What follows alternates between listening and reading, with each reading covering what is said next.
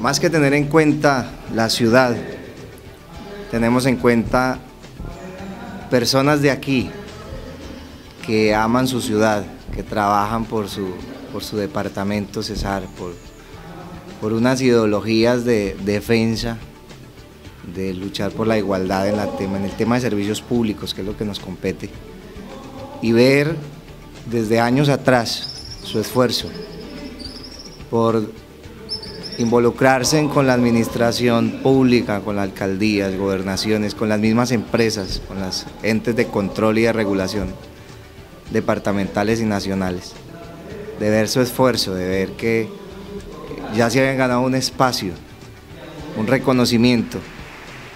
Eso movió la organización a venir a Valledupar como un premio para demostrar que desde Valledupar pues salen personas con el ánimo de ayudar, que es lo que es nuestra misión. Nuestra misión es capacitarnos, ser autodidactas, traer las estructuras del Estado a, las, a diferentes ciudades, pero sobre todo que se vayan formando personas que vean las necesidades y que no, que no les sean ajenas, sino que quieran aportar a la solución o buscar un poco de igualdad. Eso nos movió a venir a Valledupar. Existe algo eh, que personalmente me llama mucho la atención, que es el eslogan que se puso para el Congreso, servicios justos para una paz verdadera y el control social de una nueva generación. ¿Podría usted ampliarnos este eslogan ya que en estos momentos estamos en un proceso de paz en La Habana y la paz eh, en el ámbito personal también se logra con lo que dice aquí este eslogan, con servicios justos? Claro, es que no podemos ser ajenos a un tema como el que nos está acompañando, que es la paz de una, de una guerra o de unos grupos alzados en armas, cuando eso involucra todos los seres humanos en Colombia. Nosotros sabemos que si se firma la paz con un grupo, hay que empezar a bajar ese convenio de paz en todos los ámbitos. Porque si hay una empresa, por ejemplo, que abusa de su posición dominante y de una ciudadanía que paga un servicio y quiere lo mejor, pues si esa empresa abusa, no va a haber paz entre esos usuarios y esa empresa. Si hay eh, problemas de unos usuarios con quien manejan eh, el mínimo vital o un líquido vital que es el agua, por ejemplo, no va a haber paz. Porque si firmamos con los grupos al margen, nos toca ir bajando esa misma forma, esa misma ideología, esa misma manera de ver la paz, es ponernos de acuerdo. Y los usuarios deben estar de acuerdo con el cobro y con el servicio para poder que haya una paz. Por eso nosotros escogimos ese tema y ese eslogan.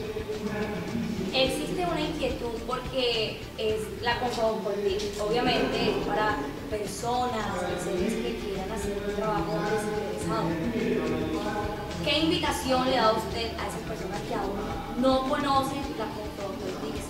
¿Qué le? Bueno, más, más que, que conozcan una organización, nuestra meta cuando inicia, iniciamos esta organización que agrupa vocales de todo el país, es hacerle un llamado a las personas, a cualquier ciudadano que se quiera organizar. La constitución política dice que cualquier ciudadano tiene derecho a organizarse y a conocer la estructura del Estado y a participar de ella, con voz y con voto, pero organizados. La organización es porque es necesario agruparnos para que los entes del Estado nos tengan en cuenta para poder venir, para la misma ley les prohíbe a ellos invertir unos recursos de viajar y capacitar, esa es su función, pero si no hay una organización que respalde, ellos no pueden invertir ni pueden venir. Por eso armamos la organización, pero más que eso, más allá, lo que tratamos de transmitir es que nosotros como usuarios en Colombia, pues no seamos apáticos a lo que está pasando porque todos vemos el problema, pero nadie quiere intervenir en la solución o en la paz que trae poner de acuerdo dos partes. Más que la organización, siempre queremos es llegarle al corazón a mucha gente, gracias a los medios de comunicación, gracias a, la tecnología. Ayer me contaban que eh, se tuiteó hasta eh, eh, España, Panamá, Ecuador. hubo respuesta o conocieron que hoy estábamos estos tres días reunidos en Valledupar. Eso es lo que queremos hacer, llegarle al corazón de mucha gente, decirle, mire que sí se puede intervenir en las decisiones.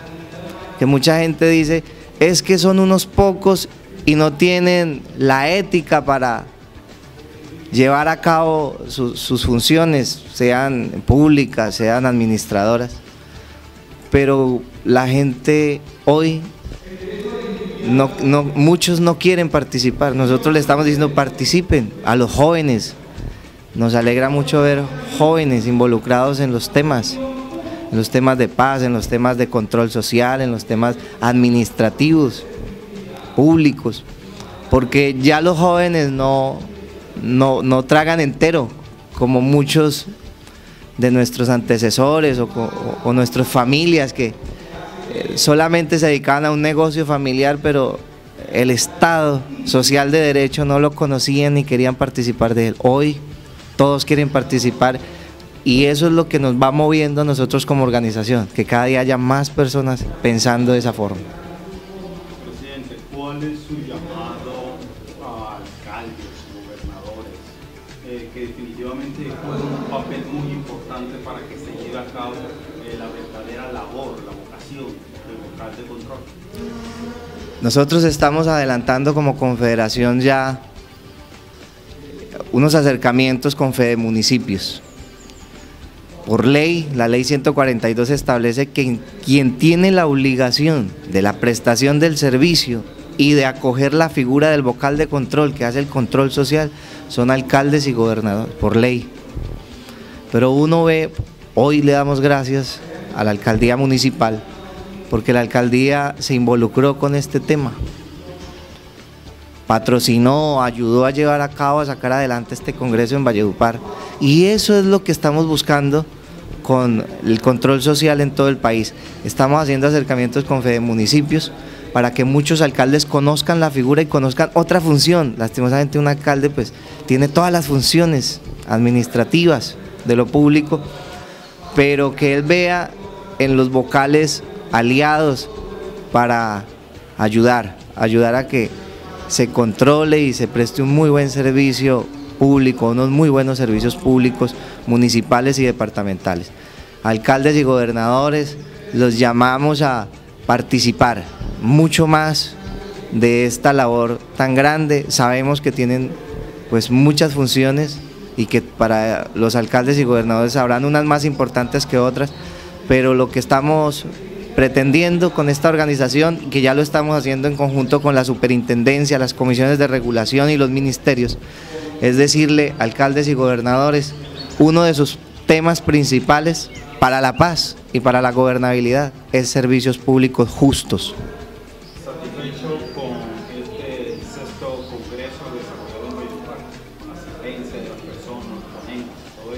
Sí, eh, efectivamente, nuestros expositores eh, se fueron satisfechos con ver el público, con ver la acogida, con ver el esfuerzo que han hecho vocales que se han eh, pasado todo el país por carretera, 30 horas, 25 horas, 20 horas de camino, y nada de eso pues les impidió llegar.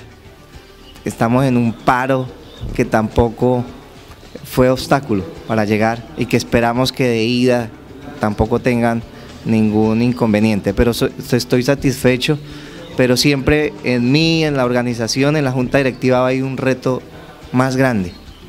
Ya la parte temática se desarrolla con facilidad. En este momento pues está eh, eh, un magistrado del Consejo del Estado dando su charla y eso para nosotros es algo extraordinario pero tenemos retos más grandes, porque queremos que Colombia sea ejemplo en la participación ciudadana. Hace algunos años vinieron a entrevistarnos de Chile diciendo que querían adoptar este modelo de participación ciudadana que no existe en Sudamérica. Y queremos traspasar fronteras, queremos hacer un congreso internacional, queremos hacer muchas cosas más grandes que se están dando, que se van a dar, que ya hay ofrecimientos para participar, con ponencias, por ejemplo, en la, en la Universidad de, de la Florida, en Miami, nos están invitando cada año y queremos participar como ponentes, que ya, ya fuimos invitados a participar como ponentes de un encuentro de alcaldes latinoamericanos en la, en la Universidad de la Florida. Estamos queriendo dar pasos lentos pero muy seguros y muy grandes.